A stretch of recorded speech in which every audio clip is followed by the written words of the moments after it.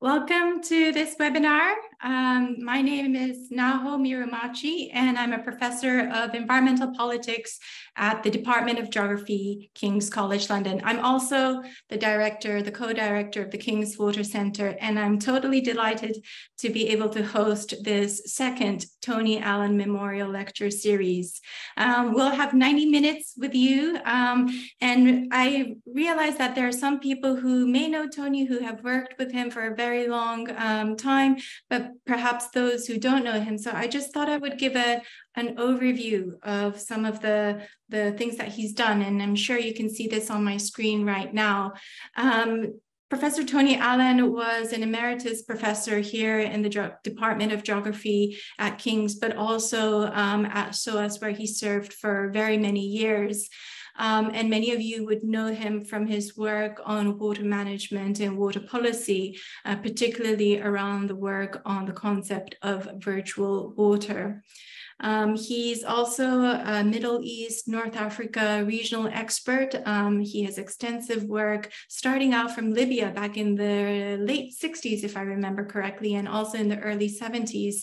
Um, and his experience and expertise in the Middle East, North Africa region spread over five decades. Um, he's also very much uh, someone who has been a mentor, a friend, a great colleague, a great sounding board for so many people, both within university, academia, the research world, but also amongst professionals as well. And he founded a, a great network of interdisciplinary thinkers, scholars, and professionals around the world who are united in thinking about water, food, agriculture, and sustainability. Uh, so it's a great way uh, for the community, for this very uh, interdisciplinary, very broad community to come together on occasion like this.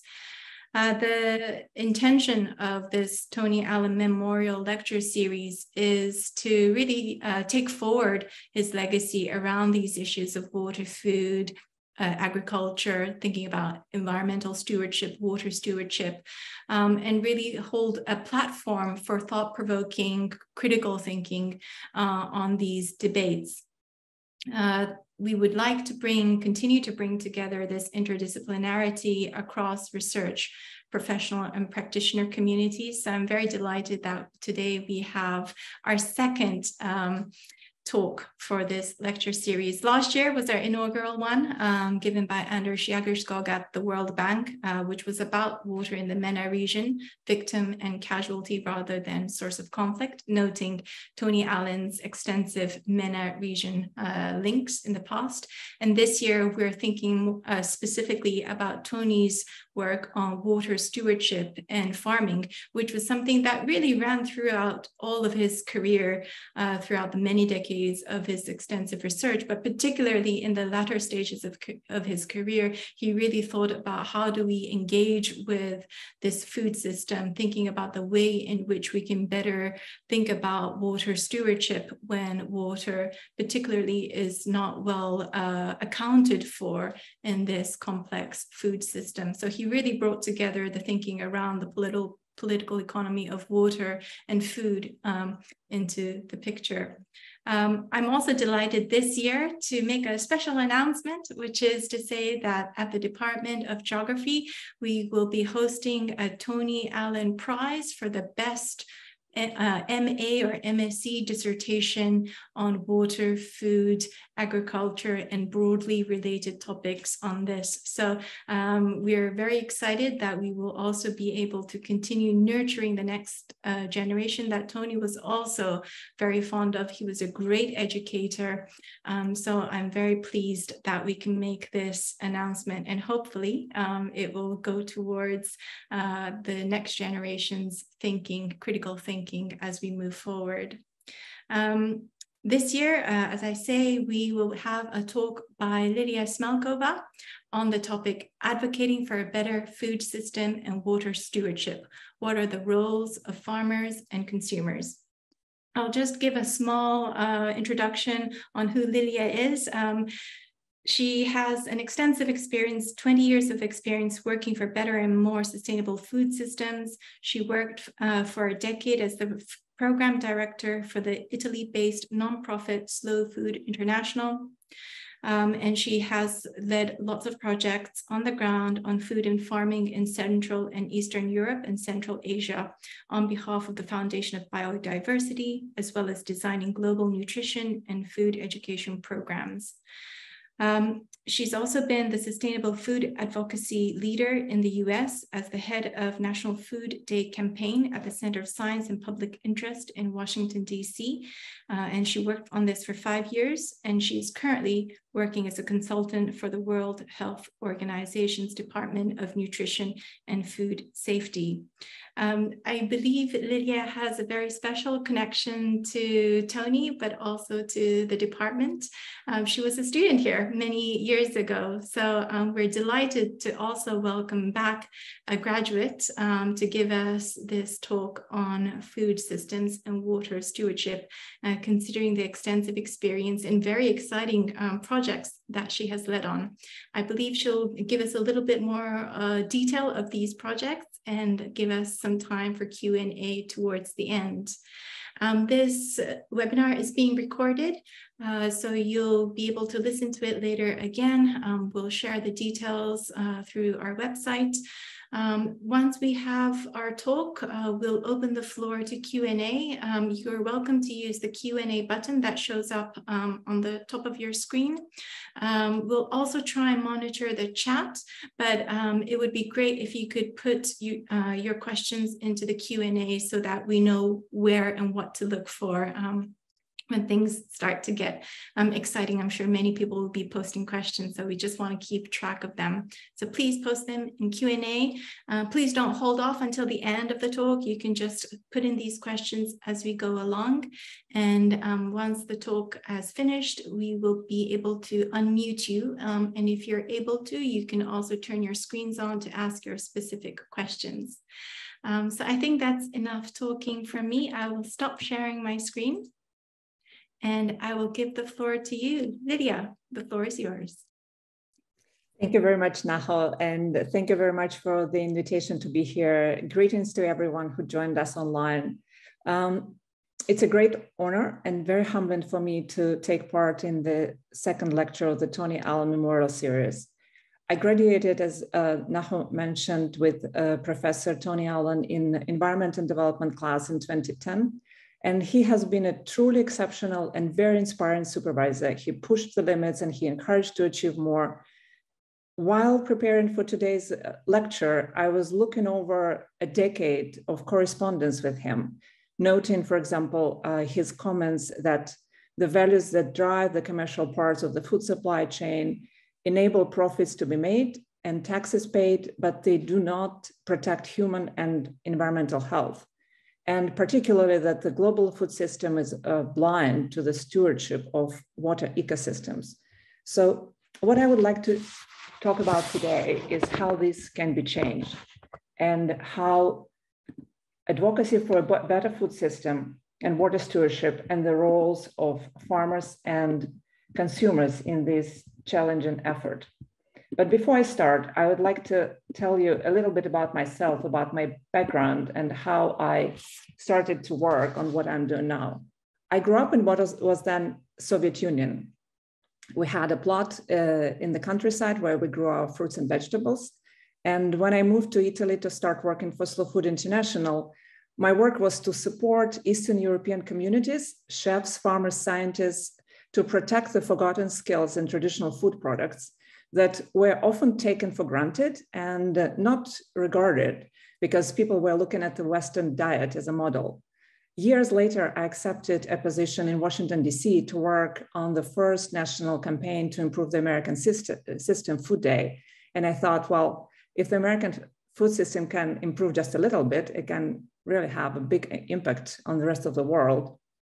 And uh, so to start with, I'd like to give you some numbers to give a context of the food systems that we live in today. And um, we know that food should be healthy, affordable, and produced with care for the environment, for the planet, animals, and men and women who grow, harvest, and serve it. But unfortunately, very often, food system is not working, it's broken, and it puts this ideal out of reach. Too much of the food that we eat does more harm than good to uh, us, to the environment, and to the farm animals, and also to the quality of life. And so the global food system is in urgent need of reform. Today, over 800 million people are hungry, but at the same time, about one third of food produced is lost or wasted.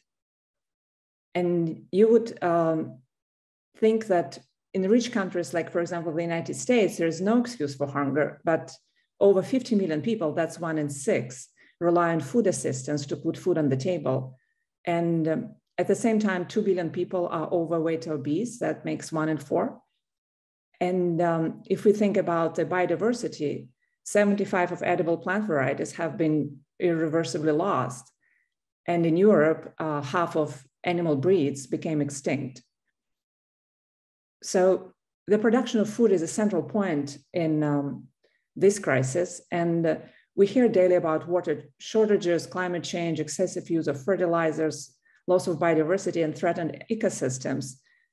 And uh, we also know that food requires an enormous amount of water to produce, that over 90% of fresh water is used for the production of food. So every time we talk about, talk about food, agriculture, food systems, we imply water because it's a those are the main consumptions of the fresh water in the world. So it is critical for the food consumers, food producers, and policymakers to align for a more sustainable food system with improved water and environmental stewardship. And currently, many grassroots movements and campaigns advocate for better and more sustainable food system. But what does it take to achieve this change? For example, slow food is an international movement that was born in Italy about 40 years ago. And slow food envisions a world in which all people can access and enjoy the food that is good for them, good for those who grow it, and good for the planet. Slow food describes consumers as co producers, putting the responsibility on the consumers for the food that is being produced as well, and for the better food system that slow food defines as good, clean, and fair. Good stands for the taste quality because food should be tasty. Clean is uh, environmental sustainability because food cannot be produced by ruining the ecosystems, abusing the water resources and environmental resources. Uh, and it must be produced with the respect for environment and biodiversity. And fair stands for fair treatment of the people working along the food production chain. So um, social justice, also fair recognition and fair payment for their work.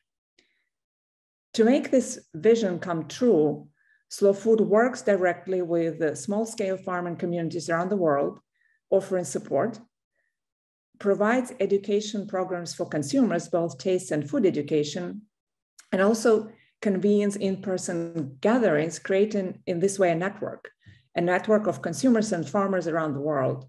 And one of the examples of these meetings is uh, Terra Madre, a world meeting of food communities that brings together people from all, over uh, 130 countries. And Slow Food has incorporated their virtual water and water needs advocacy in the past.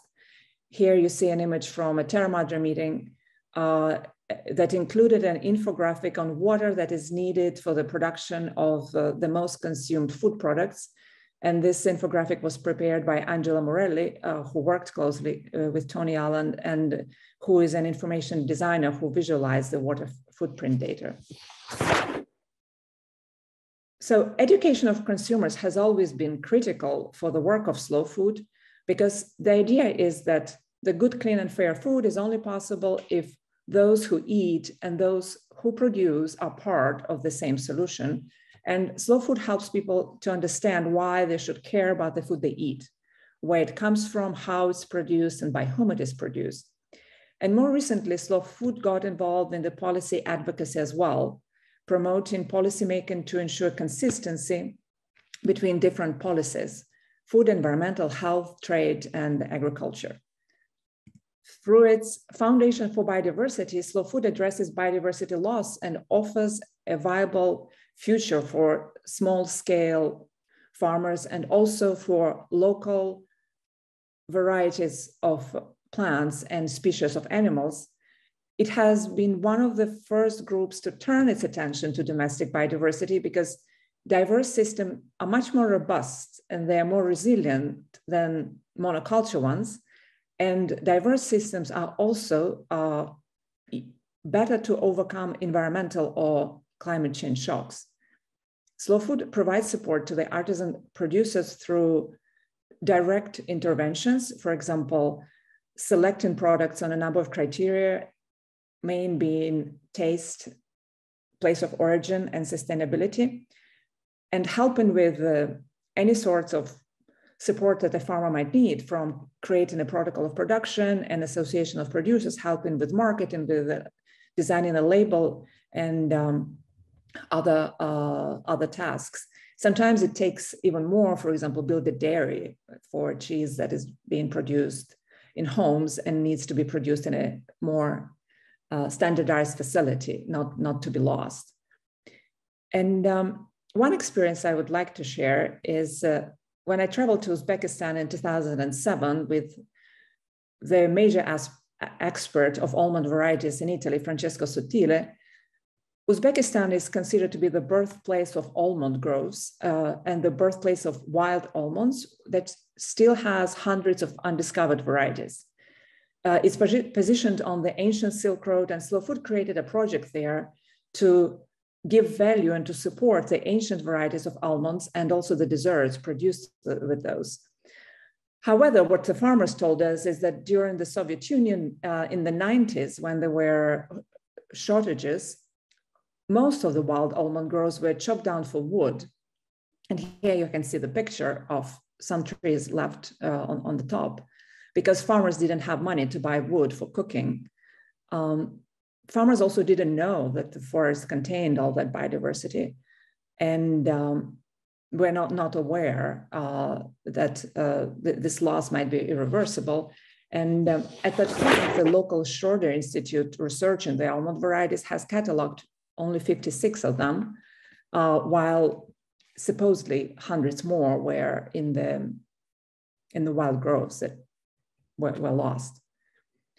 So the, the takeaway from, from my slow food experience is that farmers in small farming communities were focused on having their basic needs met.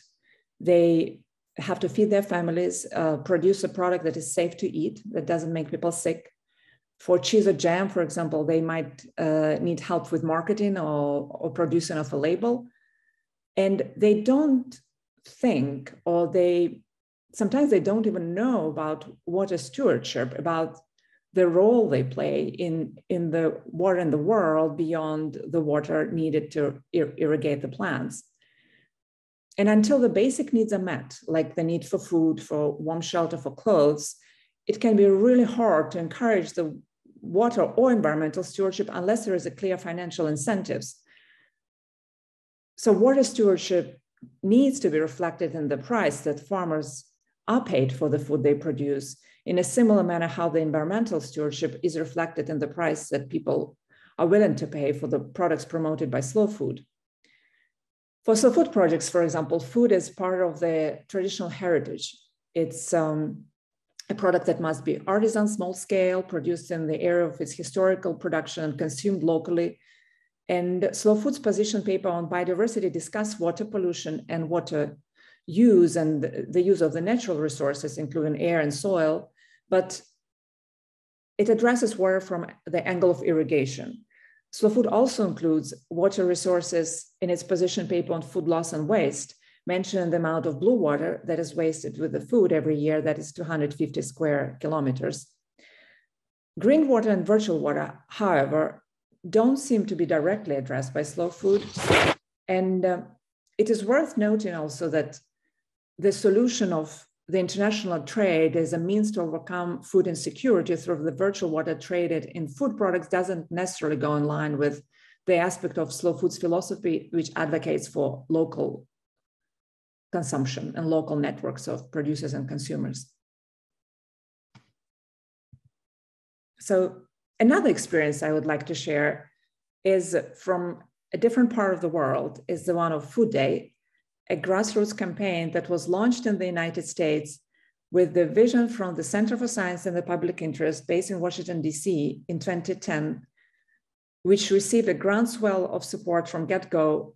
It was the first national campaign to improve the American food system. Food Day was created as Earth Day, but for food issues, with thousands of events and initiatives across the country, from entire school districts, hundreds of colleges, resolutions signed by governors, and a lot of media coverage.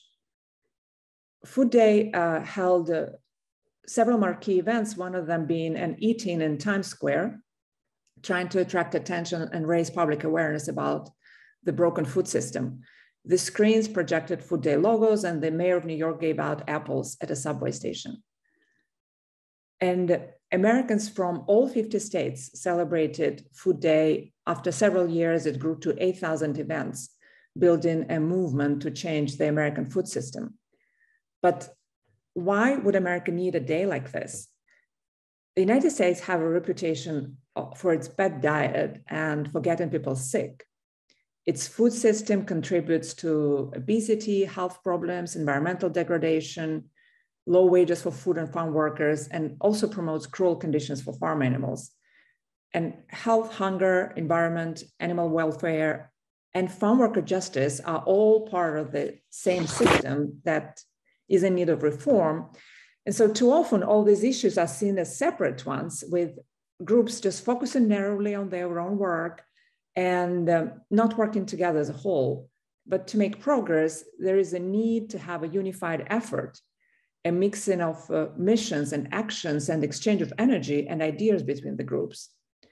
So how can how can people and organizations bring all these pieces together and start thinking as one connected single issue about the food system and not about separate different things. So Food Day was created to try and address this question because reforming American system was such a huge task. The groups felt need to get out of their silos and collaborate one with another for faster progress. So how was it organized? Why people who are busy with their everyday tasks and everyday missions would spend time of doing something and actively organize events. So we knew that everyone likes to know that even their modest local activity is part of something bigger, something national that can have a real impact. And we also know that many students, government officials, nonprofit groups, and companies care about the harm uh, and reduced harm that the American food system is doing to people's health and environment. So we created an advisory board with the leading figures of the food movement and then spread the word more broadly. And almost everyone we contacted said that they want to be involved in some way. So we reached out to thousands of people and groups at the local level, tried to make sure there is cross-sector presence at meetings, shared stories they learned, and shared a lot of tools and resources and fact sheets. We also include the information uh, about the water used for food production as illustration that it takes about 15,000 liters of water to produce uh, one kilo of beef. And so while America has some unique problems, the challenges of nutrition, health, and sustainable agriculture and water stewardship are global. And these principles can help create positive change and exchange of ideas and energy between the groups can be part of the solution of tackling future food issues.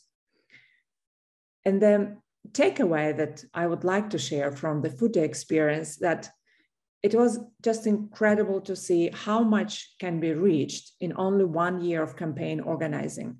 The country came together to advocate for better food. The moment was right. There was a lot of interest and support. There was nothing like else. A unifying action across the sectors and across different states with a common goal of making the food better. And um, within several years, mayors of major cities signed proclamations all major university campuses, uh, around 300 of them, engaged students and organized events. And uh, entire school districts, for example, New York, San Francisco, Los Angeles, celebrated Food Day in the cafeteria, serving a better meal for over half a million students. So there is an increase in awareness in the United States of the link between water, land, climate, agriculture, and food, but much more needs to be done. Efforts are being made by, for example, a nonprofit food tank, which was a partner of the Food Day campaign. Food Day, food Day campaign, and Food Tank regularly talks about the global water footprint, uh, about the water hiding in food, and about the invisible consumption of virtual water. They provide easy to understand striking facts. For example, if eaters switched to a vegetarian diet for a day, it would save 1,000 liters of water, or that food consumption contributes to 89% of the daily water footprint. And uh, another takeaway is that the agenda and the issues of a campaign really depend on who leads it and funds it. Uh, but the Food Day experience shows that raising awareness and inspiring critical thinking can happen very fast if the moment is right and if the major stakeholder groups and major actors are involved. Another takeaway from the campaign is that for something to flourish and go on, it needs a sustainable source of multi year funding. And so these two examples bring us to the next step how actually the change happens, how advocates achieve it. One campaign framework points to three distinct stages of a campaign. The first one is raising awareness, the second is inspiring critical thinking, and then the third one is actually taking action that comes afterwards. And here of vital importance is the definition of target audiences, for example, because talking to everybody equals talking to nobody. Who exactly needs to hear the message for the change to happen? Whom we are trying to reach with the communication? Is it policymakers in water scarce areas or in the areas that are abundant in green water, or large scale or small scale farmers? or maybe consumer groups that are already active in food and agriculture and sustainability issues. And also, what are good communication moments? For example, World Water Day, held annually on the 22nd of March, provides an excellent opportunity with an attention to the importance of fresh water and the use of resources. And there are many examples of successful campaigns that promote behavior change. For example, the health impacts of smoking is widely acknowledged with even Hollywood cutting down on showing smoking on screen. And there is also increasing awareness of the wastefulness of running tap water while washing hands. For example, taps automatically shut off in public bathrooms, and there is greater consideration at home as well. But there is not yet widespread public awareness of virtual water. Eating a water intensive food is not seen as bad as uh, leaving the water tap on. And consumers play an important role in this. So I would like to look quickly at the considerations behind consumer behavior that actually influences food consumption. Um, we don't have a lot of time to go into the detail, but let's quickly look at some of the factors that influence the choice of food, they can be split into two big categories internal and external, so personal and environmental. And personal are the health considerations or taste, and environmental is whether the food is available, the price, or maybe social peer pressure. But we can also look at two large forces that influence food choice, uh, one being taste or sensory preference to go in line with slow food thinking that food should be good to eat, it should be tasty. And the second is a big group of constraints that prevent a person from making a food choice according to what is preferred. Because, of course, we do not eat what we want always and as much as we want, because for me, it would be cheese and chocolate, and I wouldn't eat anything else. But um, here is an illustration of the negotiated food choice model to, um, to let us think about food choices and food preferences. So uh, sensory preferences include taste and smell and appearance.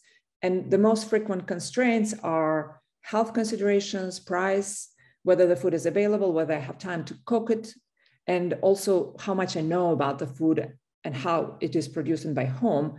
And this model can be used to plot either persons or groups, food preferences and food choices. And it also illustrates the complexity of factors that influence the choice of food because we constantly negotiate among sensory or taste preferences and other factors that influence uh, the food choice process. So in section one, it's our first choice.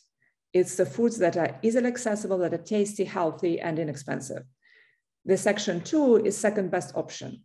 It's lower degree of taste preference, but few constraints as well. So it may be something quick, something less expensive, something easy or available. The section three is the guilt zone, because for example, we ate something uh, unhealthy or it costs too much. And the food in section four, they're consumed under the condition of restricted choice. So this model can also be used to plot the trajectories of desired changes or food preferences or food choices over time as a result of, for example, food or taste education interventions or awareness raising campaigns. For example, if we share information and promote critical thinking about water intense foods with the aim to shift consumer behavior, the foods that might be in section one, they can move to section three. So all the preferred foods, the information we have is put in a constraint on the choice. And so food doesn't stay in the food choice anymore, it, it remains a food preference. And here I'd like to also pose some open questions. Is the provision of information enough? And whether there are any types of consumer education programs or other interventions that may be needed to make this shift. And so moving forward, uh, how can slow food, food day, and other initiatives do something to improve the food system? One of the answers is network is get and getting out of our silos. Imagine, for example, if in Italy slow food included virtual water into its work on good, clean, and fair food systems, or the common agricultural policy in European Union subsidized the wider, uh, wiser use of uh, water resources embedded in the food products and gave tax breaks to the producers, or if the public procurement or public schools included incentives for serving, serving the foods that are less water intense to produce. So this cross-pollination can be applied in different settings with groups taking a broader view and um, collaborating with each other. And uh, to conclude, I would like to share some reflections about the gaps and challenges and also areas where might more work might be needed based on, on the previous reflections. So there are challenges around the links between water and food and food systems. And the first one is how consumers can become responsible water managers and actually exercise their power because managers are usually aware of their actions. And do consumers really know how much power they have in their purchasing decisions? Um, consumers might need a better understanding of the link between virtual water and food and the impacts that their everyday choices have. Maybe greater education, raising awareness, and knowledge translation is needed. And with so many variables influencing the choice of food and the consumers every day, sometimes with conflicting messages, for example, whether to eat healthy food or local food, uh, more education about virtual water is needed to allow for a really informed choice, for informed choices. And the second challenge is um, the role of farmers as water managers, because farmers need to recognize that they do have a very important role. And they also need incentives to counter the pragmatic considerations of the bottom line of what products are historically or traditionally produced and other considerations that have taken priority over water stewardships. Among the lessons learned at the grassroots level is that groups do need to get out of their silos and support each other's missions and work because with creating a net network, everyone can achieve greater and faster progress. It is important to work directly with producers and consumers to, to know and to have both points of view and provide information and assistance when needed. And policy advocacy is also very important to include just as Slow Food, after 30 years of working with consumers and farmers, got involved into political advocacy as well, because the agriculture, the food production, consumers, and policy sectors all need to align for better food systems and for the better water stewardship. Farmers need to have support to produce, consumers need to be willing to buy and uh, know why, and policymakers need to produce the right laws to support the above. And as I mentioned earlier, advocacy efforts need a sustainable source of funding. And uh, reflecting on the areas of work uh, that uh, might be needed is uh, one is how to include water accountability in existing efforts on food systems and environmental sustainability. Another one is um, how to include advocacy efforts into policymaking, how to include the concept of virtual water more into policymaking. And of course, education interventions for consumers and the support to farmers to make water stewardship financially viable. And um, I would like to conclude with uh, what Professor Tony Allan shared once with us during one of the lectures is that knowledge on a subject is not still, it, it wobbles. And every effort, every publication and discussion moves this knowledge just a little bit into a direction. And so for a, change to happen, for the food consumers, producers, and policymakers to align for a better food system and water stewardship, many little pushes need to happen to move this knowledge into the desired direction. Thank you very much for listening. Thank you so much for that, Lilia. That was super informative, very rich in detail.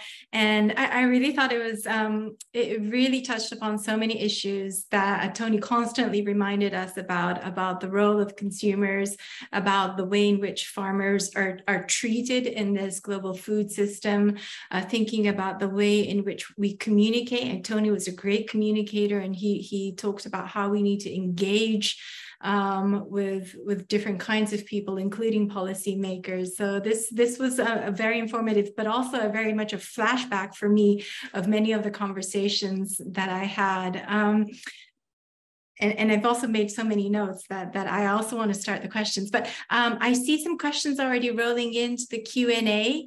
Um, so maybe we'll start um, picking that up if that's all right with you. Um, on the screen, we have Tamara, who's also one of our research assistants from the King's Water Center, who will help with the technical side of things. So um, if you if you are posting questions, please post them on Q&A. If you have any issues trying to post them, just please chat uh, to Tamara directly, um, and she will probably be able to solve this.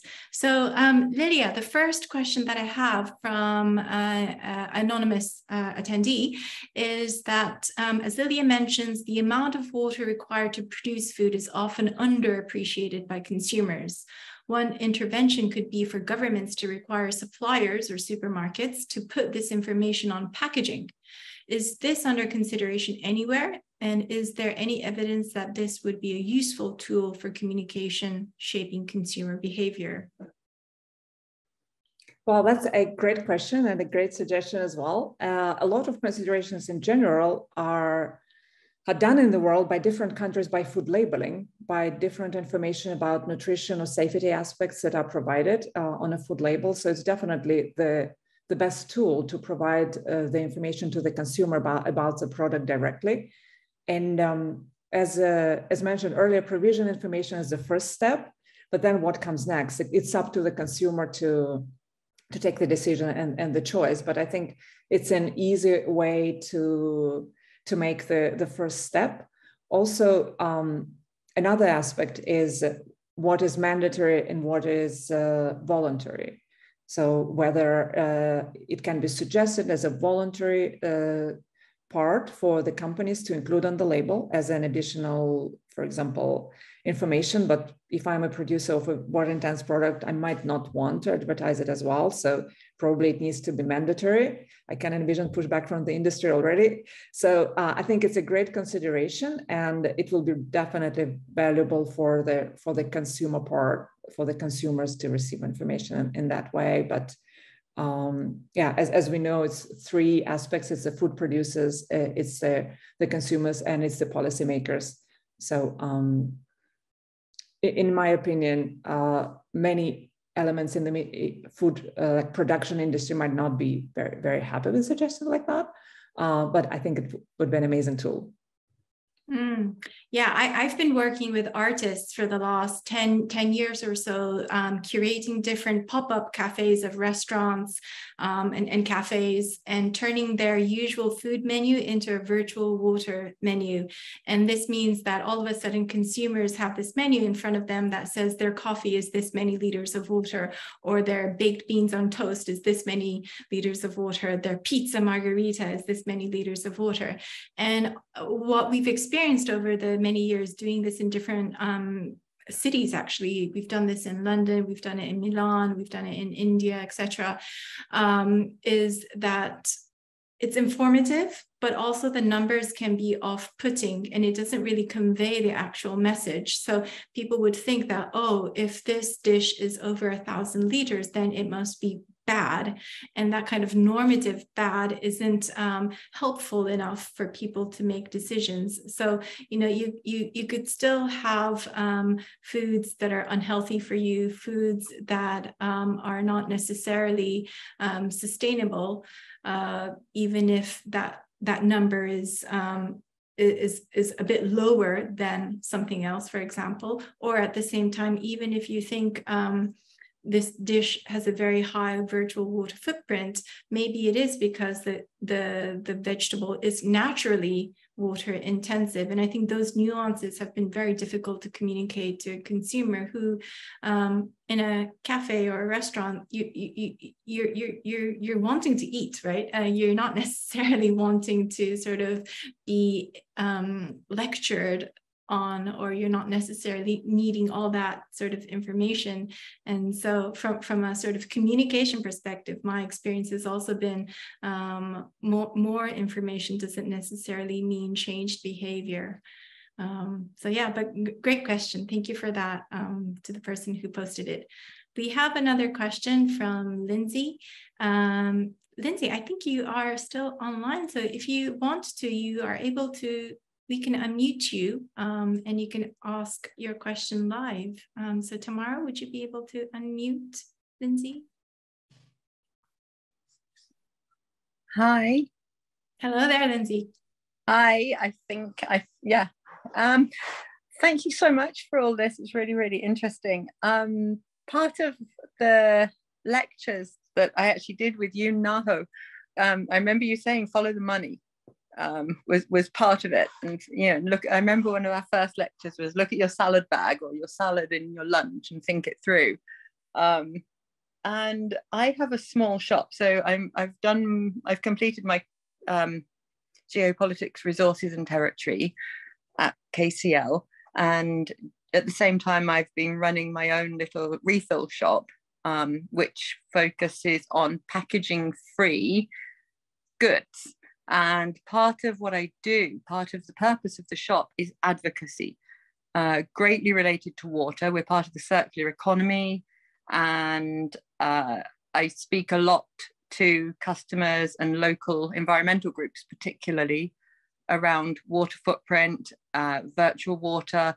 When people buy rice, particularly, I explain why we have organic rice, particularly basmati, and, and so on. Now, how in your graph you showed us um, like the the upper quartile part one, how and talked about shifting consumer thinking from part one to part three on more water intensive crops, for example, or water intensive foods.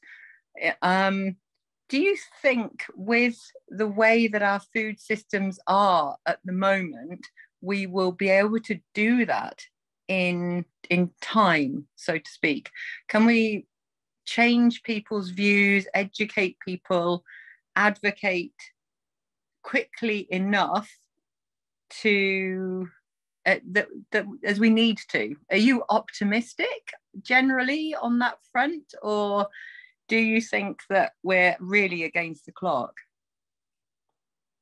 That's a good question. Thank you, Lindsay, so much for asking because I think many people and many advocacy groups around the world are probably asking the same uh, whether they're in time to accomplish their missions and to do what needs to be done.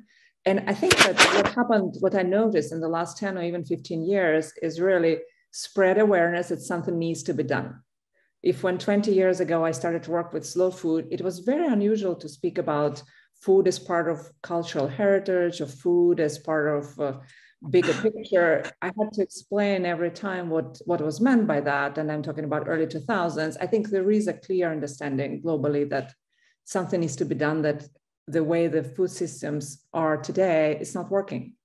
And I think there are many different suggestions. For example, Slow food offers one of the possibilities, focus on local production and uh, in particular on agroecology, uh, uh, agroecological uh, approach to, um, to produce food to feed the world because we know that we can feed the world uh, through small scale family farms. They are one in nine today in the world.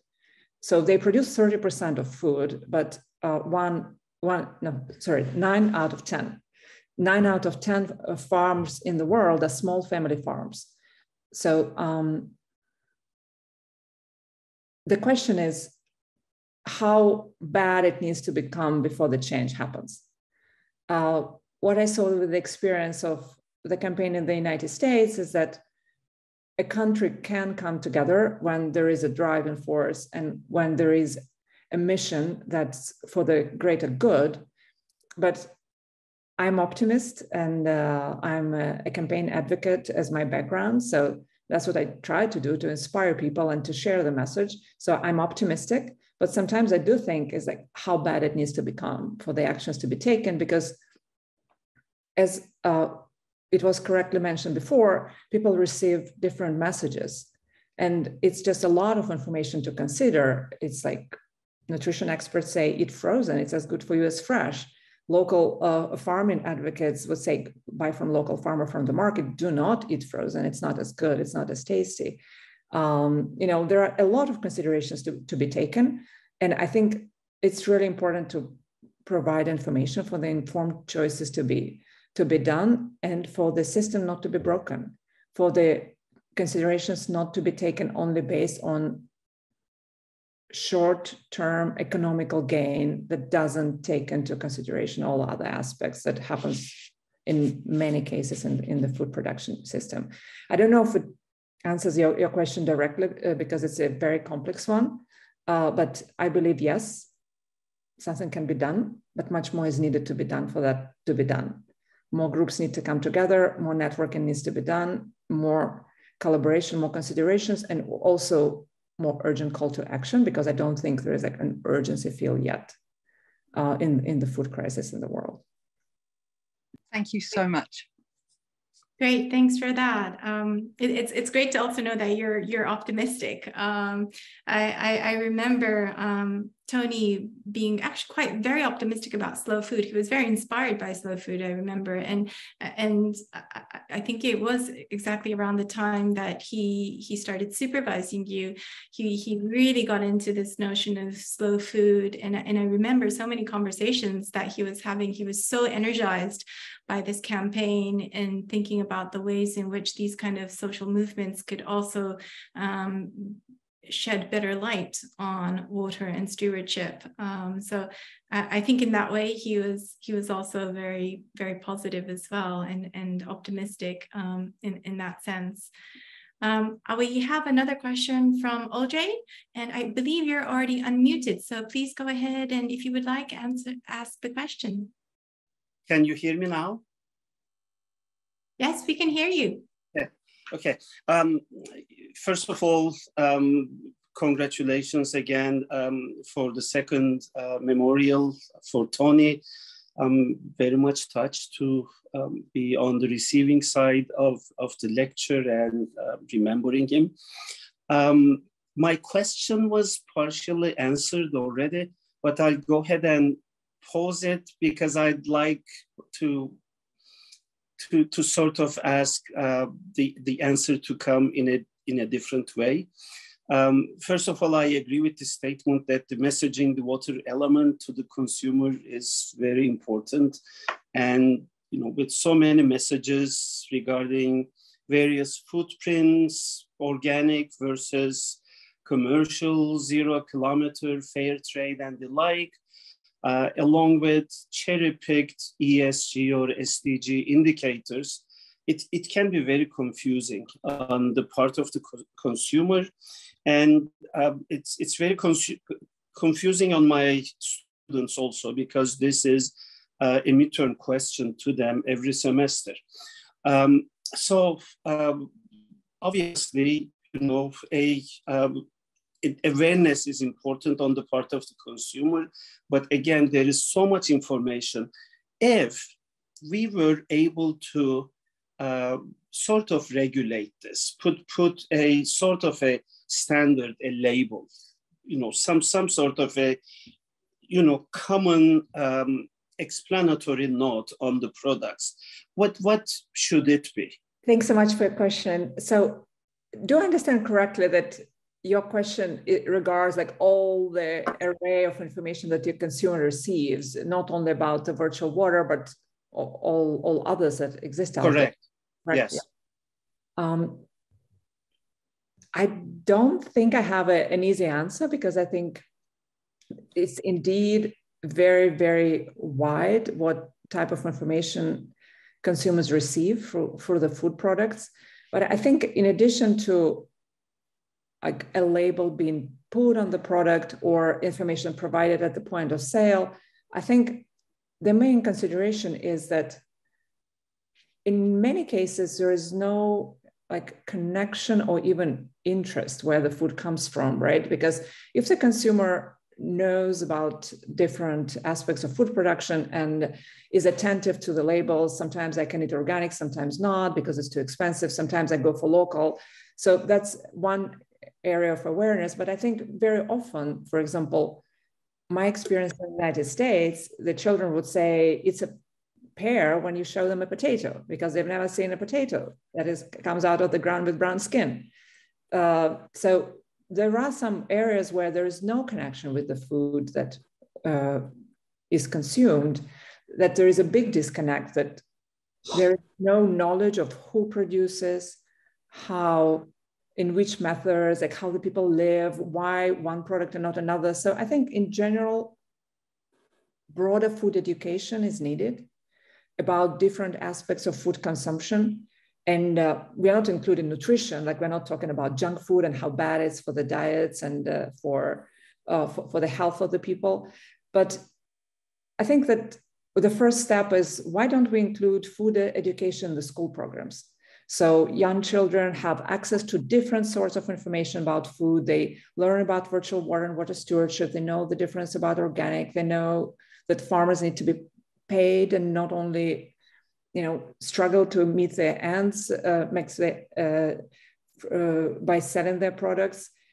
And uh, I would see this as a first step, as a broader education programs as a part, you know, like we are educated about road safety and uh, other other aspects of life, but not not in some cases yes, but not that much about food and food systems. So I think that's the number one step.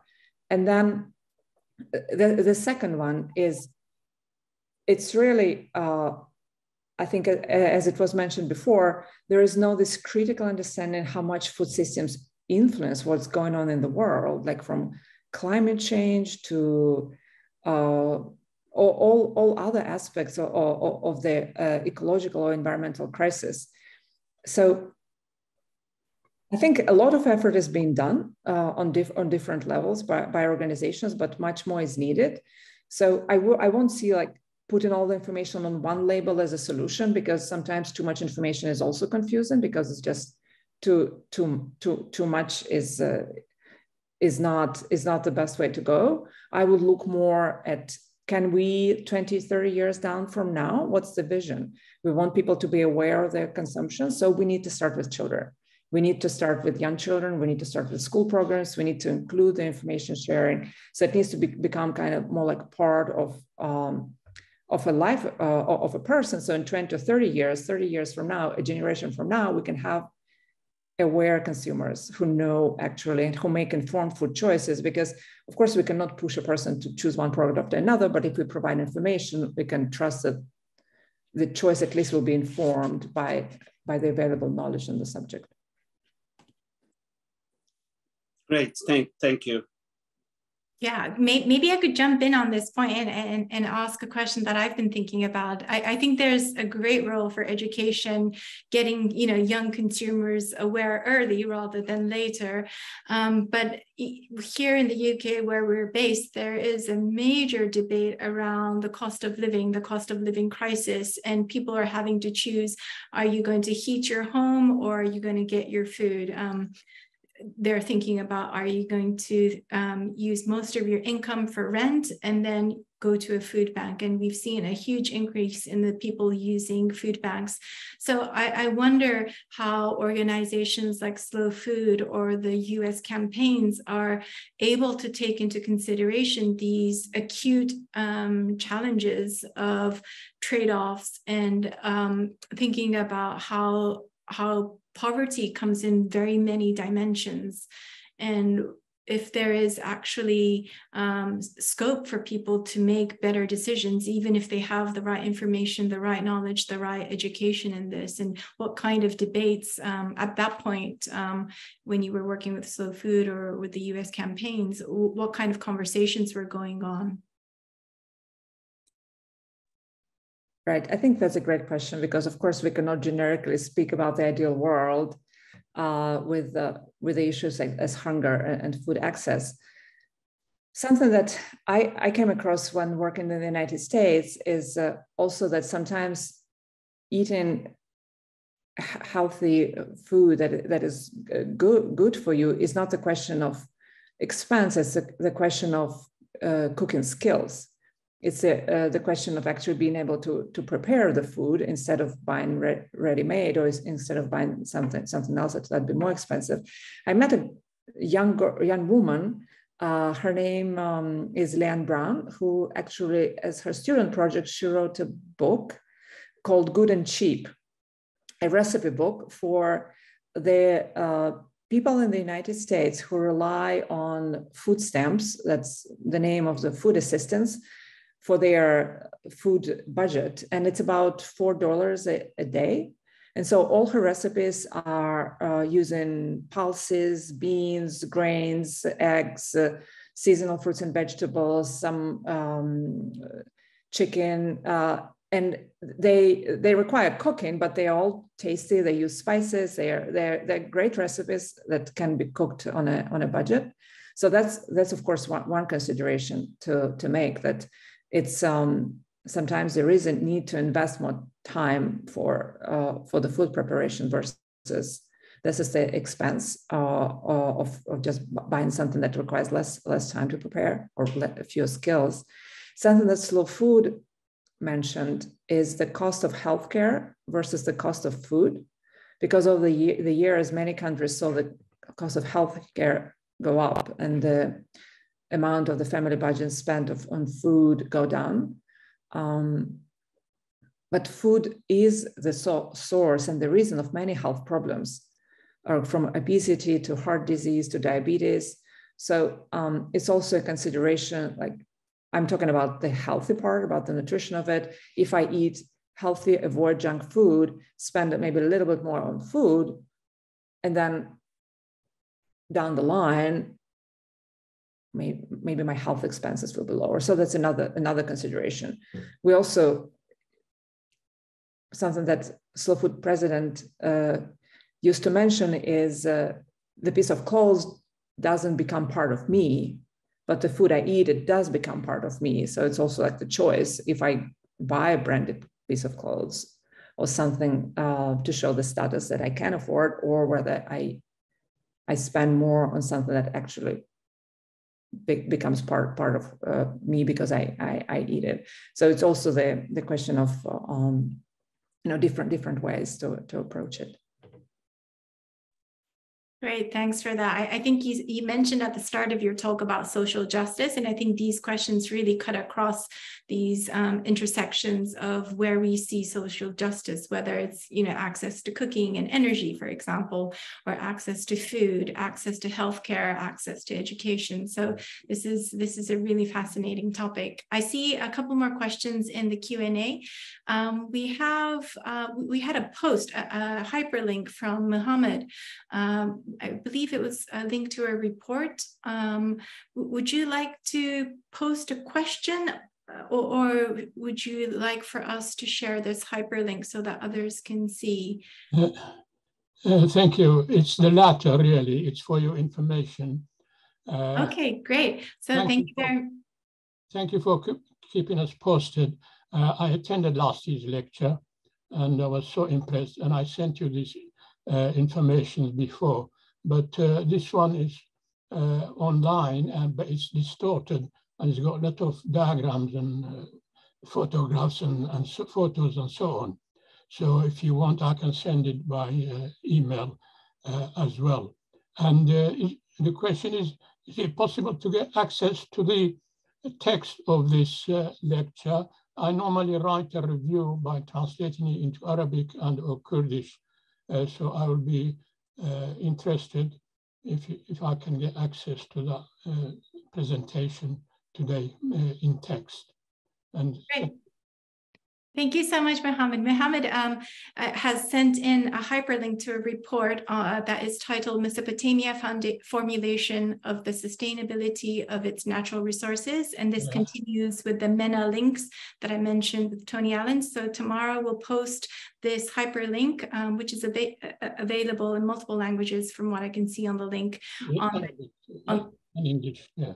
Yes, uh, on the chat so everybody can see.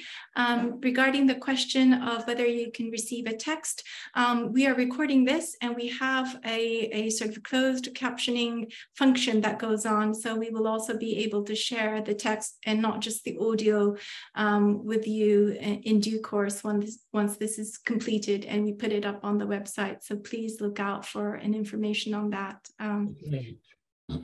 Perfect. Okay, we'll move on to another question from uh.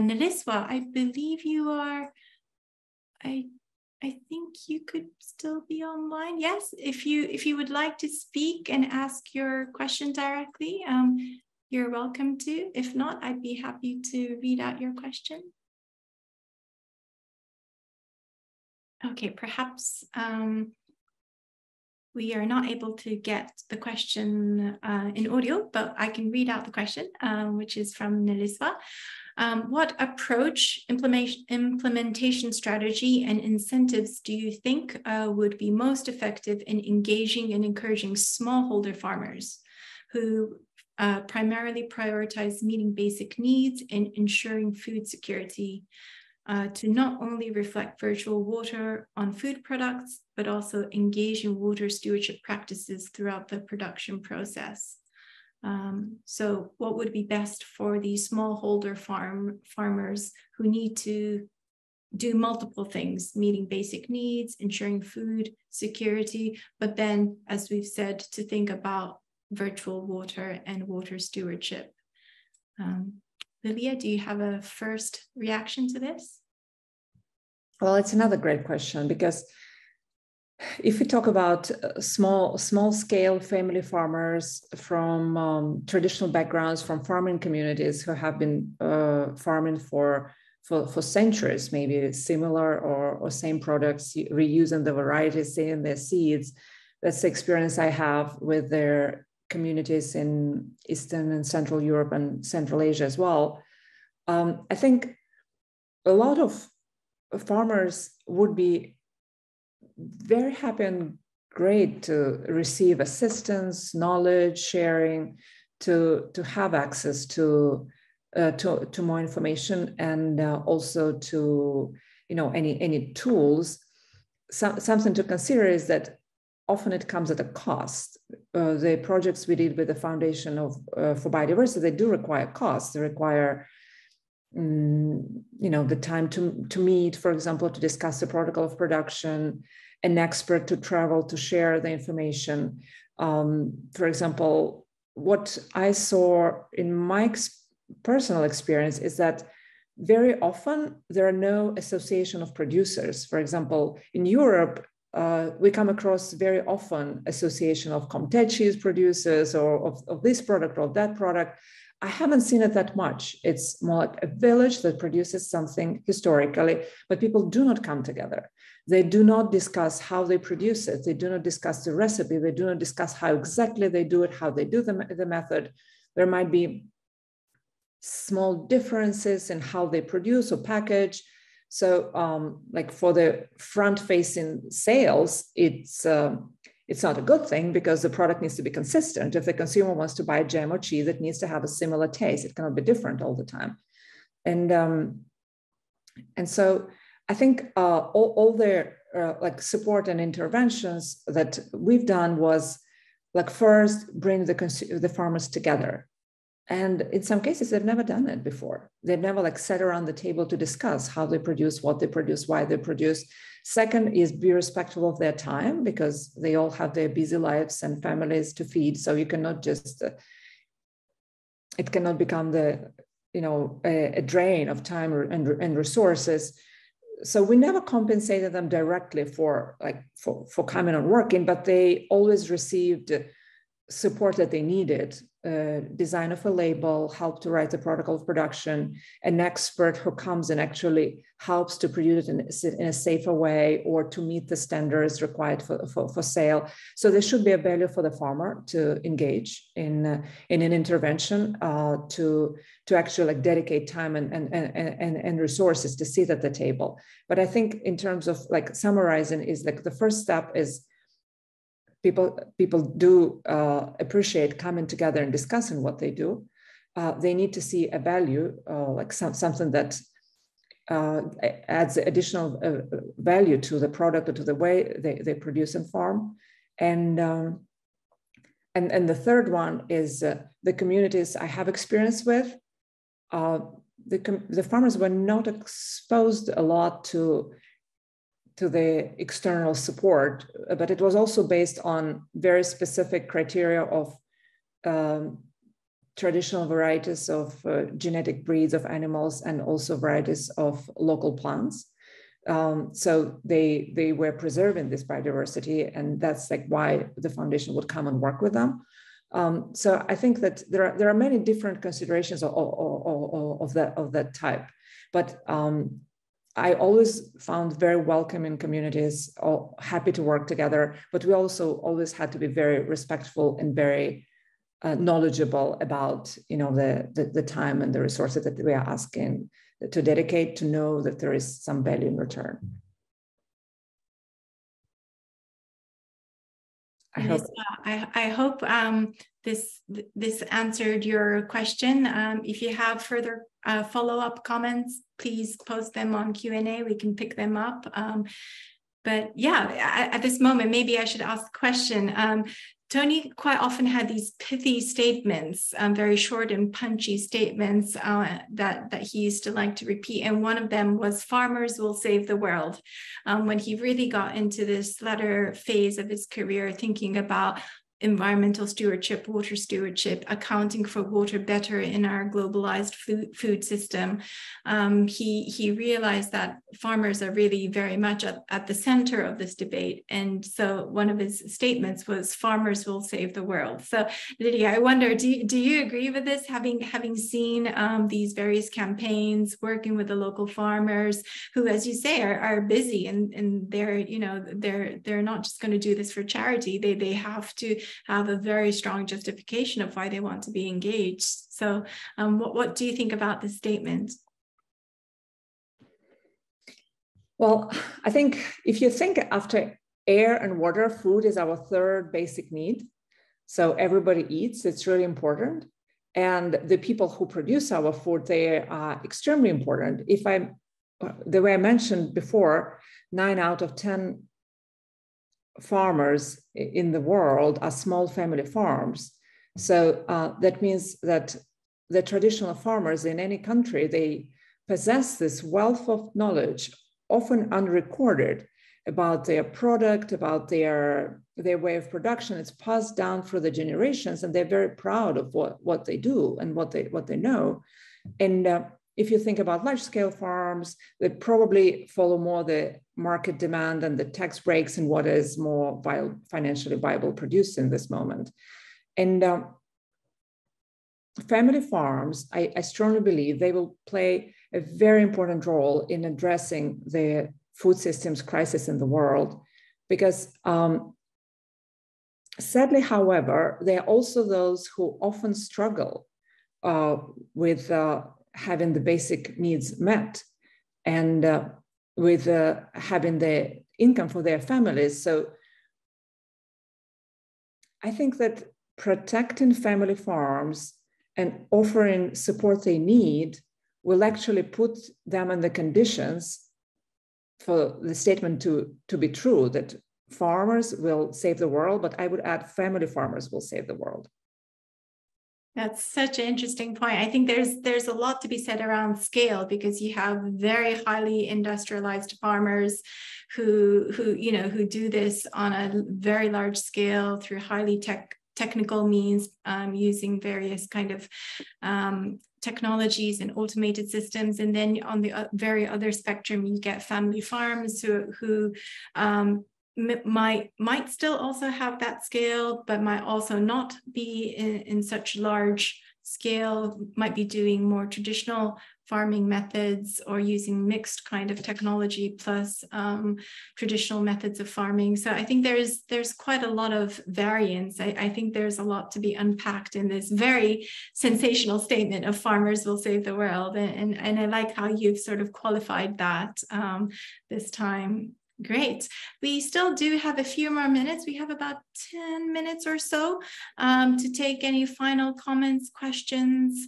Um, if people would prefer to just raise their hand and not, not type, you're more than welcome to. Um, if you have any final comments, thoughts, questions, reflections, this is your moment. Yes, I think we have one comment from Francesca.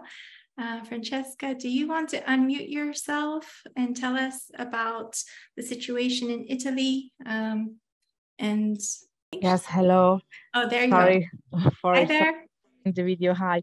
Uh, I have a question which is very practical and um, that I will have to, to deal with in the next years. In Italy, we just had a very huge drought and we also had floods and uh, we lost many lives. At the same time, the Italian government doesn't have a virtual water strategy and we know that Italy is the eighth largest exporter of virtual water coming from vulnerable hydrological basins. So how would you relate and make um, not only policymakers, but also the general public understand that virtual water exports are as much as important as droughts and floods. Like the invisible water is as important as visible water under climate change conditions? How can we communicate the importance of not exporting from vulnerable rivers and lakes and aquifers? Thank you. Well, I can start uh, with some of my thoughts, and and I um, I think Naho might be more uh, an expert than me on this area. When I was rereading Tony's papers about virtual water and policymakers, one of the um, aspects that he states is that policymakers don't love the idea of virtual water because, of course, they want the certainty and they do not want to, to say that the country has a water scarcity and needs to import its, its water for the food products or, or vice versa. So something that struck me is that it's actually a very hard message to give to a policymaker because it's not what the voters want to hear. It's uh, it's something uh, that uh, it's uh, harder to to explain, and um, it's something that they might be aware of, but um, decide not to use because it's not at their advantage. Um, that that would be my my only considerations and thought on what you you mentioned, Francesca, about the situation in Italy. Hmm. Gosh, this is this is a really I think important topic about mm, sort of the visible water and the invisible water and how virtual water has become um, very much within the minds of policymakers in various countries around the world. And um, there are some countries that do do actually cite and mention virtual water, but not not not all certainly. Um, just, just to touch up on Francesca's comments, I, I, I, did a piece of commissioned work a couple of years ago for the European Parliament, and the way we sort of put the, the sort of consideration of virtual water in the debate was to link it through human rights to water. And that that was uh, an effective way, I think, to illustrate that um, it's not just about um, the water you drink here and now, it's also about the high reliance that you have on external territories outside of the EU, because this was for the European Parliament. Um, and I, I, I, thought it was very interesting how this is tied to notions of the human right to water that if you don't take into consideration what is happening in large scale plantations that export food to places like the EU, then the EU could be inadvertently be um, be threatening the human right to water in these countries. Um, so I, I, thought that was a, a, a, very interesting debate to be had, and perhaps one that might um, take a little bit more steam as we, you know, we talk more about the SDG 6 um, implementation goals and how that needs to be done, not just from a technical perspective, but also through these um, other notions of the human rights-based approaches, etc. So yeah, um, I, I also don't have a full answer for this, but I think um, there's there's certainly scope for including um, thinking about virtual water in different ways. And, and perhaps this kind of links back to what Lilia mentioned about silos in the sense that quite often if you if you think about water, it just gets um, sort of boxed into to debates of agricultural policy when in fact it has a lot of implications to energy. How food is produced is also energy intensive. So there's energy policy implications. There's quite certainly um, implications on trade, on geopolitics, um, and issues of climate change as well. So perhaps it, um, there, there could be more discussions around how different sectors, um, policy sectors could be a little bit more um, integrated on this point of virtual water. But yes, um, I think again, there is much scope to unpack on this point. Are there any final comments, questions? Um, anybody who wants to just directly raise their hand and we can unmute you?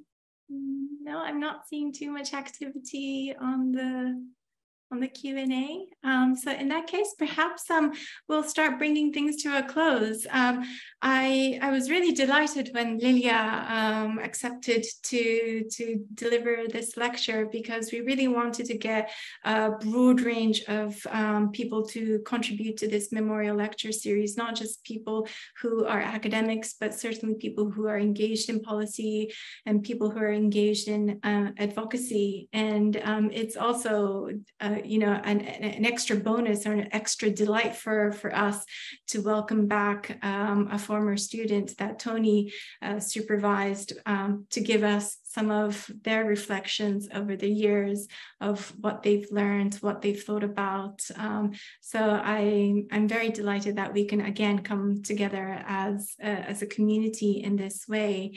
Um, Lilia, do you have any final thoughts or any last comments that you want to, to make to the group, to the audience? Well, I would like to thank you again for the invitation. It was very unexpected and a great pleasure. And um, the preparation for today took me on a very interesting train of thought uh, and also making the connections between the virtual water, food, and agriculture. Because looking back at, at the conversations we had with, uh, with Professor Tony Allan, also during the rare meetings we had, he always probed for like what I think about the food consumption, what I think about the consumers, what I think about the farmers. And uh, I always thought like it's impossible that he wants my opinion because he's such a star.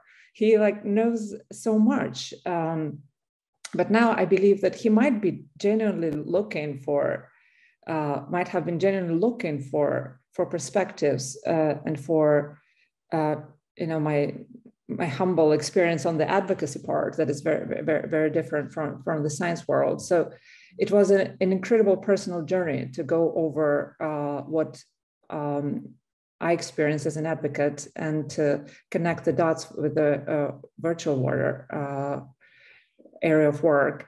So I want to thank you personally for that. And um, I'm, you know, open for for any continuation of these conversations because I think it's only opening a box of hundreds of questions that do not have immediate answers, but that uh, as um, as I mentioned, I believe that sooner or later they need to align, whether two, 20 or 30 years from now, it doesn't need to happen. Great, thanks for that. Um, I think that would also sort of give us a, a, a, kick in moving forward this discussion further and to and to also connecting um, with more people who are engaged in this topic of water, food, agriculture, um, and virtual water more broadly.